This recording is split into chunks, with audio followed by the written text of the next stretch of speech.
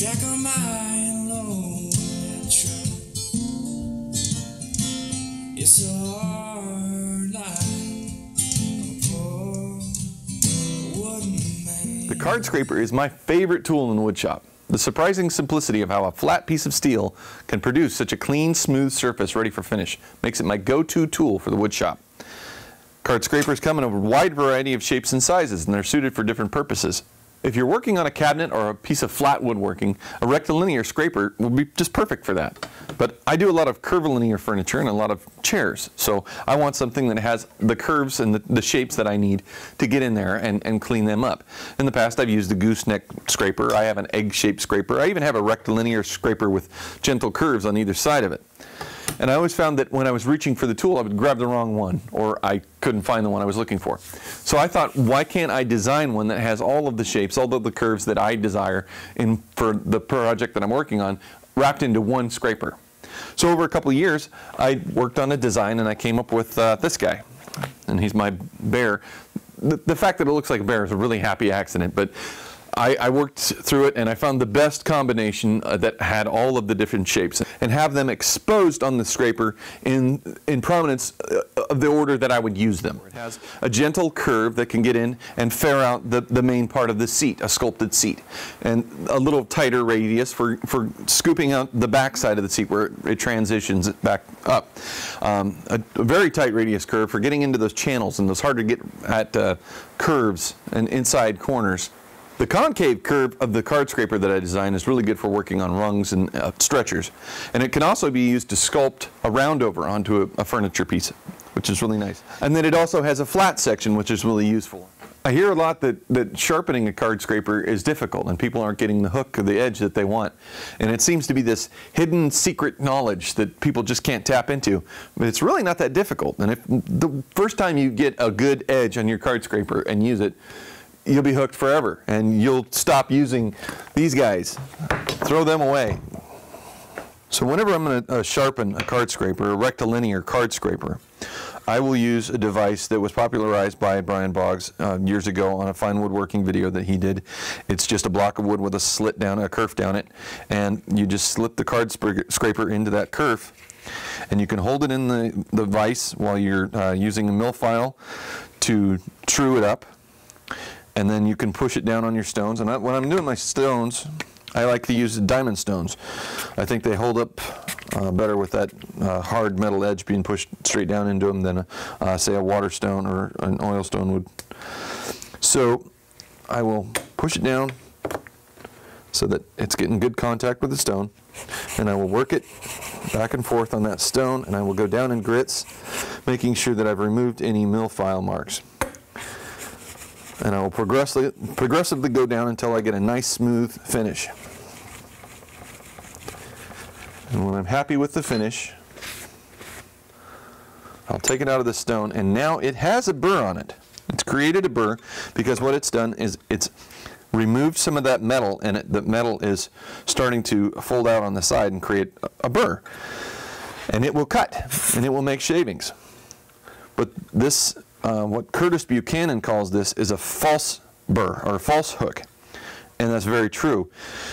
Uh, what it is, it's removed metal and it'll start to break off and you'll get delineations in your work and lines, scores down your work. So what you need to do is remove that burr. You want to get rid of it completely. You want to have a nice square 90 degree end. Very smooth, no bumps in it, if you're going to get a, the best finish on your woodwork. once I've removed that burr and I don't feel it at all anymore, I know I'm ready to start drawing out the metal. I'll place the card scraper on my workbench and the burnisher that I use is from Ron Hock. It's, I, I think you can use hardened drill rod as well but his uh, his burnisher is pretty inexpensive, and it does an amazing job. And it's really nice. It doesn't have the handle to get in the way, the way I I do things. So I will draw out the metal, and you don't want to push the metal out. You want to draw it out because if you push it, you're going to get little wrinkles in there, and you'll again you'll get those delineations and lines in your work. So you'll draw out the metal, and you don't have to use a lot of pressure. It can be really slight.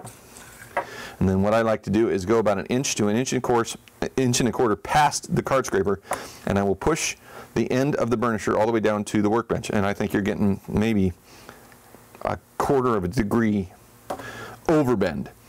And I will just rub that down to overbend that metal that I drew out.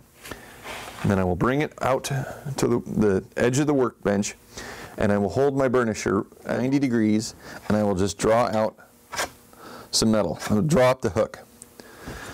And it doesn't take very long and then you should have really good shavings coming off of there. And this hook will last you a lot longer. It's not a false hook, it'll stay there. It's bent metal rather than removed metal. It's not going to break off and it's going to give you a nice smooth finish. So like I said, this device works really, really good. But what happens when you have to do a kidney shaped or uh, gooseneck scraper? It's not going to work very well for you. Um, Gary Rogowski, he came up with the idea of, of, holding the stone in the vise, and then you can rub the card scraper against the stone. A great idea.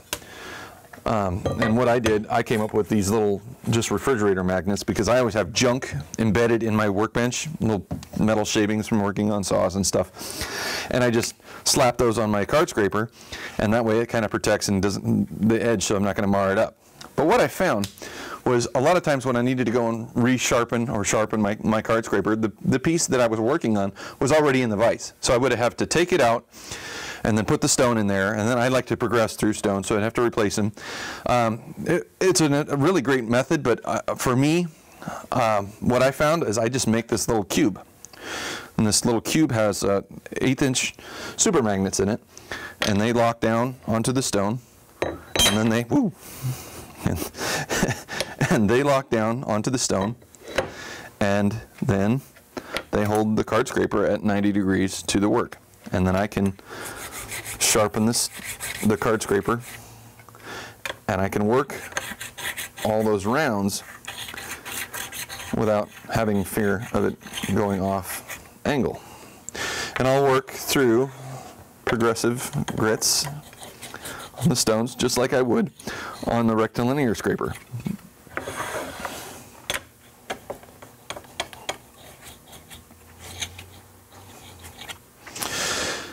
And again, I'll go and I will remove any burr that's left behind. And that, that does a great job on the outside here, but this inside concavity, I had trouble. How was I going to get that sharp? What I came up with was a fishing hook sharpener that you can get online for like three bucks. You can find them at Walmart, wherever. And uh, I just chuck it up in my drill. Hold it at 90 degrees. And it diamond sharpens the inside there and that does a really good job. I've been really happy with it. Um, so then I will go through the same process. I will draw out the metal like that, and then I will overbend by about inch, inch and a quarter.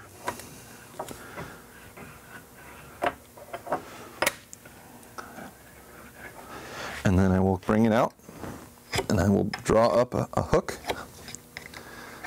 all the way around. When I get to this inside edge, it can be kind of a bear, and I couldn't figure out, hot bear, that's funny. And uh, I couldn't figure out how to get in there. And I came up with this burnisher. And I, I made a batch of these and they sold out really quick, so I'm obviously gonna have to make more of them. But I keep one in my pocket, it's pretty small. It has a, a, steel rod protruding from it, and then it has another steel rod in it. And they're both set at two and three quarter degrees. That's about the, the angle that I love. And I can use that to reset if I want to. I can come back and draw out a new hook and then boop, set it like that. And it, with one swipe, if you, if you manage to contact both of those pins in there, you can set in one swipe. And it does a really good job of, of uh, setting the hook on the inside of that concavity. And I'll go around and then I know that it's all set at the consistent angle. And I will get some nice shavings. So that's how I sharpen. Uh, for care, taking care of them. To keep your card scrapers, you can make uh, like a card file in your workbench. Uh, I, I knit myself a little leather pouch with my logo on it. That'll keep the, the, the hook and the burr from getting messed up. When I sell my card scrapers, they come in this mailer. And it works really good for putting it back in your, your workbench and keeping it good for you. So that's how I do it. Brian generously sent a set of card scrapers, he calls them chair scrapers, for the school. So now all you guys probably have chair scrapers, card scrapers, same thing, um, semantics. Now the ones you probably have are rectangles, like the ones I've always had. Standard, typical, rectangular card scrapers. Sometimes, like when I did the tractor seat on my chair last summer, or sometimes when the students are doing their Cooper doors, you want to get into those tight corners. And you go out and you buy yourself one of these little gooseneck or kidney shaped card scrapers. And that's nice too. Well, this is, and Brian has been selling these on his website. I was not aware of these. And these are, without a doubt, far and away, my new favorite card scraper. And he sells them for around $10 or something like that. We're gonna sell them here at the store for him, I think. Look at that. Not only is it kind of, I, I look at it and I kind of think of the shape of his logo, the BearKat, somehow. But it has all the elements you want in those other scrapers. It has obviously your flat side and this nice big curve with this tighter curve over here. So those really tight areas, more gradual areas like on the Cooper door and the flat side. I was not aware of these. Brian makes these. These are all ready to work. Can you see that? Look at those shavings. Um, all ready to go out of the package. Man, Brian, these are beautiful. And they make so much sense. Because for years I've been looking at card scrapers and thinking, wow, it's like they're fine as they are, but no one's really, you know, rethought this very much, and there has been a whole lot of new things. And I don't know when when you started making these, Brian, but um, I just I was blown away, and, and we and he sent sent ten of them to the school, so we have one in every bench now. I'm gonna keep one of them, I think. um, but yeah, really nice. Very, very, very nice. Great idea. I love just the idea of it. Just the, you know, flat on one side and the curved side on the other. So Brian, thank you very much. For the rest of you guys, watch out for these. We're going to be putting them on the UW store website if you'd like to order from us. Help keep the lights on. Depending on the project you're working on, making your own card scraper might work out really well for you. If you're if you need a, a scratch beader or if you you have a, a, certain curve that you need to maintain throughout the whole piece of the furniture, you can design your card scraper and just cut it out of a piece of spring steel, an old saw blade, something like that, and and it as long as you can get it to hold an edge, it'll work perfect. So when you're trying to remove marks left by a saw or another tool, you're going to have valleys, highs, and lows. And the best way to fair those out, much like a plane, how a plane takes off the high spots, you skew the, the scraper to remove the highest spots first. Doing it in one direction and then coming back and skewing in the opposite direction, you can help to fair out any highs and lows and start to produce a plane surface. What you're looking for is a shaving to come off and not just sawdust. If you're getting sawdust, that means you're, you're dull. you you need to retune the hook. When you're getting close to the finish that you like, you can tilt the scraper down further and take a little lighter cut. You're still getting shavings, but they're a lot lighter and it's more dust-like. And that really gives you a nice sheen. I don't know if you can see this.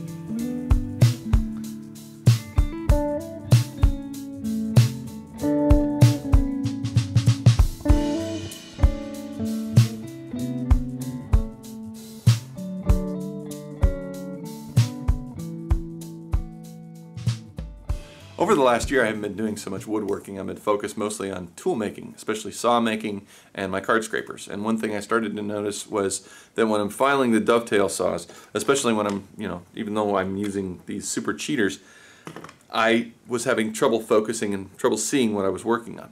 So I finally broke down. I got myself some new specs, and they're bifocals, and but they're they got the uh, transitional lenses in them, so you don't really see the line, which is kind of nice. But that it just happens as you're getting older, your eyes get worse. Like yesterday, I found another gray hair in my beard, and I started to wonder, well, what am I going to look like when I have these specs and a full gray beard? We got time.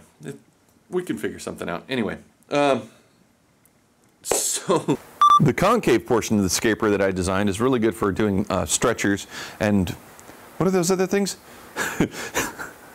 the concave surface of this, this the concaved, um, the concavity, the concaved curve that I designed in my card scraper, the concave curve of this card scraper that I, the concaved curve, Depending on the project, making your own card scraper is not very difficult. All you need is a piece of spring steel. You can, ah! Order now! Only something something, blah, blah, blah. We'll insert price here. Depending on the project you're working on, it might be a good idea to make your own card scraper to benefit, to, to facilitate, to, um, what's the word?